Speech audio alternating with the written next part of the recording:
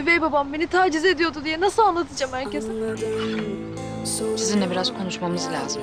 Müsaitseniz eğer. Kocam yapmaz diyorum size. Defolun gidin. Sen onu umut kes kızım. Anne sana çok ihtiyacım var. Gelmen lazım. Sana hiçbir şey olmasına izin vermeyecek. Ben her şeyi halledeceğim. Ne oluyor ya? Ζωές παράλληλες. Eylül bir erkek seni istiyor. Benden kurtuluş yok. Eylül yardım et. Kader. Τετάρτη στις 7 παρα 10.